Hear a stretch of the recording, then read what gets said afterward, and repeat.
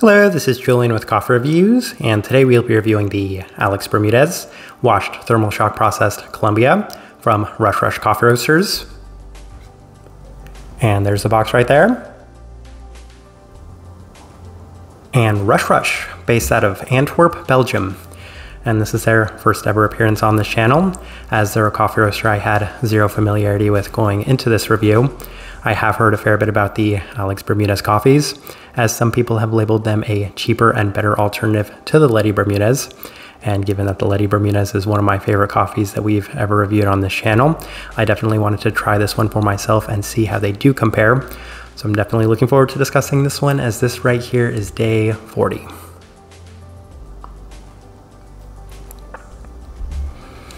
And recipe we went with for this coffee was our standard recipe, a 16 to 1 water to coffee ratio, brewed at 96 degrees Celsius, about 205 degrees Fahrenheit.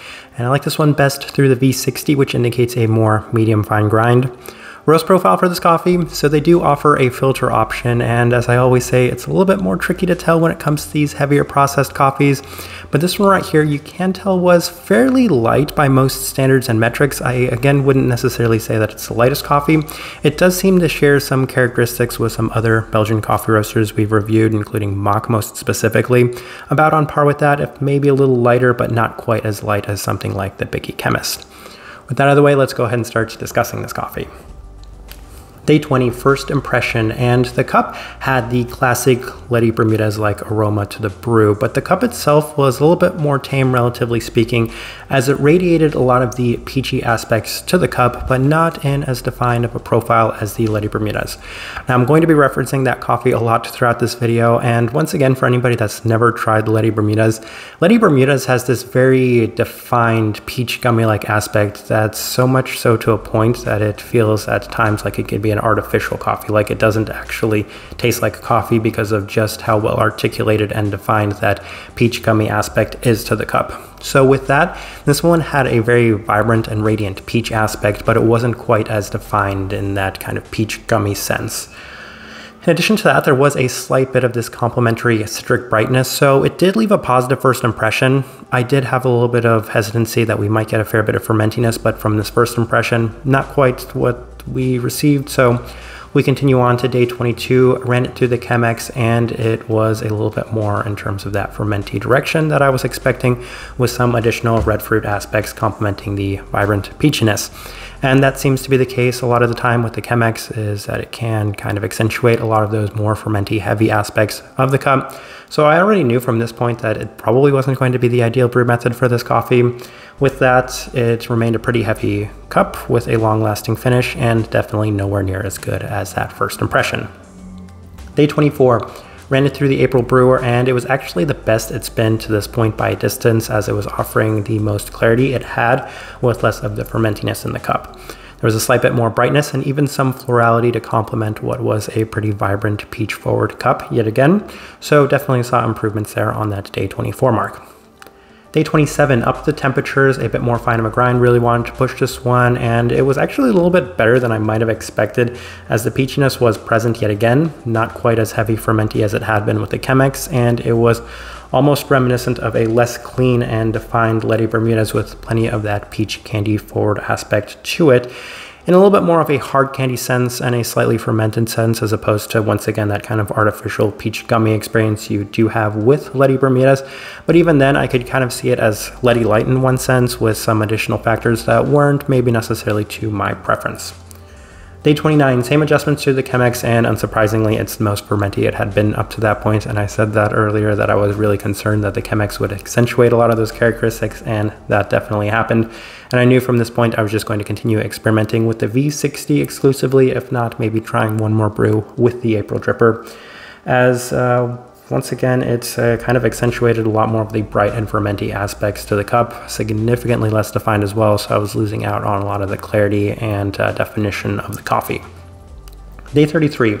Back through the V60 with higher temperatures, a more fine grind, and I was beginning to think that maybe the alternative to this coffee is to kind of go back to the original recipe as it kind of continues to remain just a little bit more, I don't know how to say this, fermenty in the peachy sense. So this time it wasn't quite as vibrant or clear.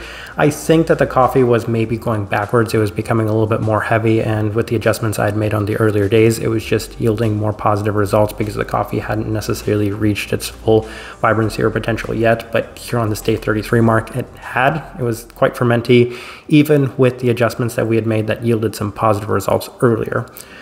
So for that reason, on day 35, went back to our standard recipe, and the coffee was the best it had been to this point, as a lot of the fermenty aspects felt toned down yet again. So in that same sense, this coffee did feel ever so slightly finicky, as I was having some inconsistent results with this one.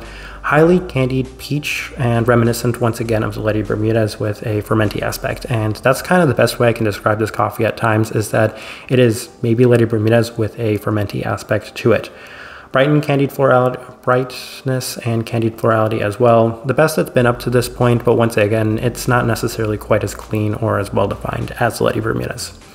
Day 37 attempted one more try with the April Brewer and it was a fair bit fermenty this time again. So it continues to offer a lot more of the heavier aspects to the cup with the peachy and floral aspects also being present, but maybe not quite as clear because it had been slightly marred by those more heavier um, components to the coffee. All right, let's go ahead and put up the tasting wheel so you can see what we're getting. All right, and we have three level fives, so let's go through those real quick and we'll start with the finish. Level five, yes, and I don't think that will come as a surprise. These three uh, level fives, I believe, were also similar with the Letty Bermudez, but uh, finish level five. Of course, it's going to be a level five. This one has that very long lasting uh, peachy finish to the coffee. In addition to that, it can be a little bit overbearing in that sense as well, given that it's not quite as well defined. I think we'll discuss that a little later in this tasting wheel, but yes, very long lasting, heavy finish to the cup with a slight bit of fermentiness to it. Sweetness, level five. Yes, it's a very sweet cup of coffee. I think that was always expected. Uh, Letty Bermudez, Alex Bermudez, these kind of thermal shock processed coffees, they tend to come out very sweet in general. So the sweetness reaching that level five mark. Yes, it's not necessarily the good level five because you have to take this tasting wheel all together to kind of really see how you feel about the coffee. So that level five, not necessarily ideal for me in this coffee. Stone fruit level five, yes. For as much as I love stone fruit, and unsurprisingly, it's going to be my favorite part of this coffee, the stone fruit maybe not necessarily being as clean or specific of a stone fruit aspect to it. I think the best way I could describe it is a generic peach candy that's present within this one, as opposed to, in the case of Letty Bermudez, that peach gummy-like attribute, or in the case of a lot of washed Ethiopian coffees, like a fresh peach. But this one right here, just a little bit more of this slightly uh, generic peach candy component to it. And then we have a bunch of level fours. We'll start with the acidity level four yes, it's a pretty bright coffee. That's something I've been mentioning periodically throughout.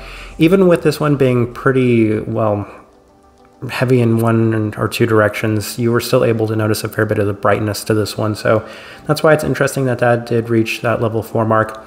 Caramel, level four, yes, and that typically does indicate the candied aspects of a coffee. And this one right here, as mentioned, it had a very strong candied aspect to it, which if the clarity was maybe a little bit more defined, then I could have enjoyed that a little bit more. But uh, that right there, not necessarily my favorite level four for that, but once again, that's a little bit more in line with the candied aspect as opposed to maybe just an actual caramel. And then we have a bunch of level threes. So we'll start with the florality at level three. Yes, I think that that might have been higher in coffees that had a little less of a strong uh, one note aspect to them. So if maybe the stone fruit hadn't been as dominant in this cup as it had, then the florality might have reached a level four. As these coffees do tend to have a little bit of a floral aspect to them as well. This one right here, noticeable enough to the point where it uh, charted at that level three mark, but once again seemed to be dominated a little bit more by the stone fruit. Berry fruit, level three. Yes, that's something I'd mentioned pretty early on in this one as it had that fermenty kind of red fruit aspect to it. A lot of people describe it as lychee, some people describe it as maybe like a heavier strawberry, but it was present in those earlier days. And when I was making this tasting wheel, I was able to get a slight bit of that yet again. Citrus fruit, level three. I've also mentioned that at times you can feel this slight citric brightness that's also present within this coffee, and that's something that I have experienced from some of Diego Bermudez's other coffees as well. Um, but this one right here, it's not a Diego Bermudez coffee, just wanted to put that in there. But what I'm kind of insinuating is with these Colombian coffees, you can see those attributes as well in these coffees. And then the body level three, yes, not surprising in any sense about that. It's a little bit more medium bodied. In theory, maybe you would expect that to possibly be a little higher given the processing method, given the origin, given the brew method, but level three seems perfect for it. And uh, what we've all been waiting for, the cleanliness level three. On paper, I feel like that's actually going to be pretty good to look at. But here's the thing about this coffee. It is quite fermenty, and it's so much so to the point that it's at that lower side of the level three and maybe possibly the higher side of the level two. And there's one big reason why I put it at level three as opposed to level two. You can really taste the peach in this one. It's very like pronounced, it's very strong, and even with the very strong heaviness, that fermenty aspect that's within this coffee, it justifies that level three just because of how much you can taste the candied peach within this one. So Maybe if that note hadn't been as strong as it was, I would have pushed this down to a level two, but I think it deserves that level three just because of how strong that one aspect is within this coffee. But the fermentiness is keeping it from being any higher than that. Once again, a little generous to put it there at that level three, but yes, that's kind of the most important thing within this tasting wheel because if it reached that level four, then we have a very special coffee because we have a lot more definition to it. We have a lot more clarity, but the fermentiness for me is what held this one back a little bit. So this tasting wheel, I feel like it's a pretty good representation of what I was getting from this coffee. All right, so my overall thoughts and impressions of this coffee. I can see how people could look at this coffee and say that it is a cheaper alternative to Letty Bermudez because uh, given that this one right here, I want to say that it's the Castillo variety.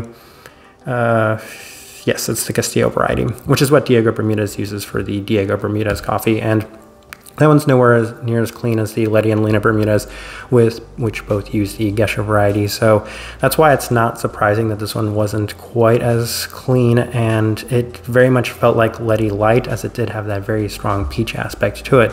But given that it had a fermentiness to contrast that real, really strong peach notes, then it wasn't quite as good as the Letty Bermudez. But once again, they share a lot of characteristics, just maybe not the same level of clarity. And I see that's why people might say that this is a, a, good alternative, like a cheaper alternative.